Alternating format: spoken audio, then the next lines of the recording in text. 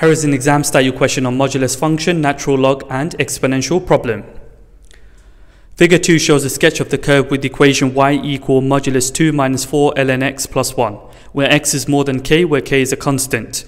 Given that the curve has an asymptote at x equal k, here is the asymptote, cuts the y-axis at point A, here is point A, meets the x-axis at point B, here is point B, as shown in figure 2.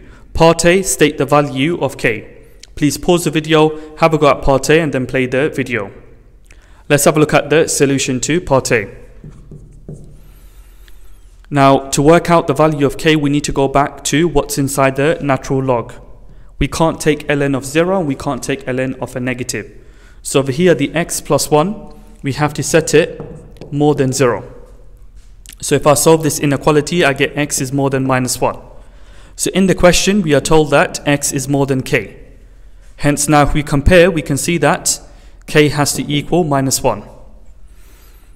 Let's have a look at part B of the question. Part 1, find the y coordinate of A. Part 2, find the exact x coordinate of B. Please pause the video, have a go at part B, part 1 and 2 and then play the video. Let's have a look at the solution. Part B, part 1. So at A, x is equal 0 because we have a y-intercept. So we substitute x equals 0 back into the y equation. So I've got y equal modulus 2 minus 4 ln x plus 1, so 0 plus 1, which is just 1.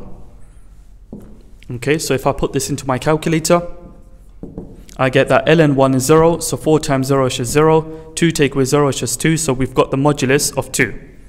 And the modulus of 2 is just 2. So the exact y coordinate of A is y is equal 2. Let's have a look at part 2 of the question. Uh, find the exact x coordinate of B. So at B, we have an x-intercept, so y is equal 0. So I can take this modulus, set it equal 0.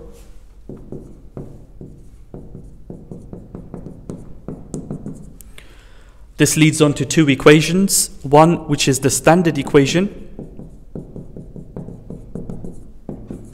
and the second equation,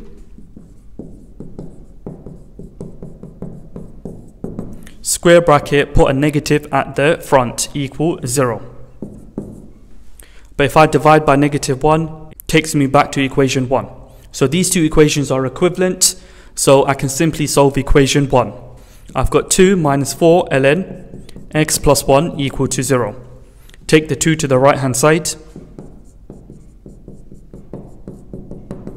Divide by negative 4. Apply e on both sides. e takes everything to its power.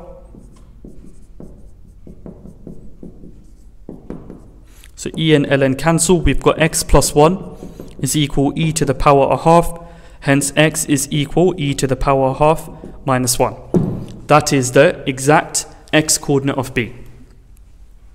Okay, let's have a look at part C. Using algebra and showing your working, find the set of values of x such that the modulus of 2 minus 4 ln x plus 1 has to be more than 3. Please pause the video, have a go at part C and then play the video. Let's have a look at the solution to part C.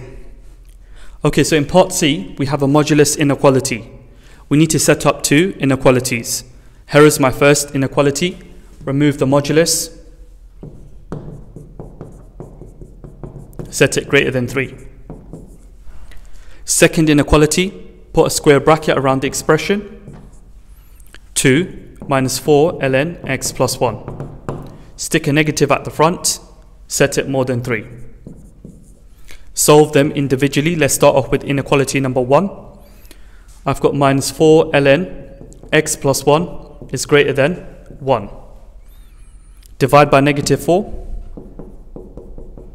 When you divide by negative, the inequality will flip, so it will become less than in this scenario, minus 1 over 4. Apply e on both sides. e takes everything to its power.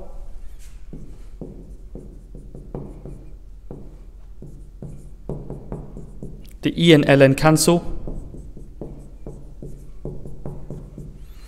Take the 1 to the right hand side. And this is what I get. Moving on to the second inequality, begin by dividing by negative 1. This will flip the inequality. Then take the 2 to the right hand side. So minus 3 minus 2 is minus 5. Divide by the negative 4. This will flip the inequality, so we've got more than 5 over 4. Apply E on both sides.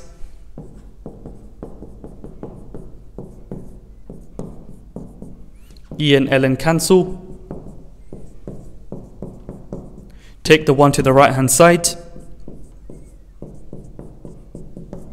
And that is the solution. Now if I put this into my calculator, this number is 0.286 dot dot dot. And if I put this into my calculator, this number is 1.284 dot dot dot. Okay, I'm going to represent these two inequalities on a number line. So here is my number line representing x. So the smaller value, which is this value here, I can label it here. So e to the power minus a quarter minus 1. And the larger value, which is this one here, I can label it here. Okay, so e to the power 5 over 4 minus 1. So we want x to be less than e to the power minus a quarter minus 1. This is the representation. And over here we want x to be more than e to the power 5 over 4 minus 1. This is the representation. Okay, so there's no overlap. So we can write down that x has to be less than e to the power minus a quarter minus 1.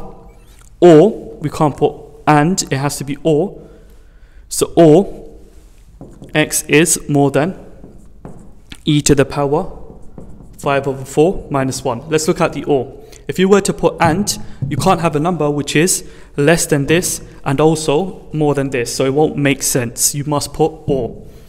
Right, we need to write this in set notation. So this one here in set notation, x is an element of the real number set such that we have the restriction x is less than e to the power minus a quarter minus 1. For the OR, you put union. x is an element of the real number set such that we have the restriction x is more than e to the power 5 over 4, take away 1. That is the final answer in set notation. This completes the teaching video. If you found it useful, please don't forget to subscribe, leave a like, leave a comment, turn on your notification bell so that you receive notifications every time I post a new teaching video.